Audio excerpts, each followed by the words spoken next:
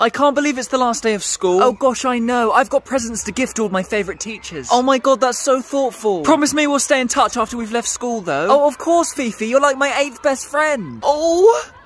Oi, lads, let's see how many places we can shit before school ends. Oh, yeah! Oh, that's sick, yeah! Oh, I got the water fountain! Oh, fuck off, Bill. That's where I was gonna go. Nah, you going Mrs. Swarbrick's lunchbox. Okay, lunchtime. What sandwiches has the wife made today? Ah, Nutella.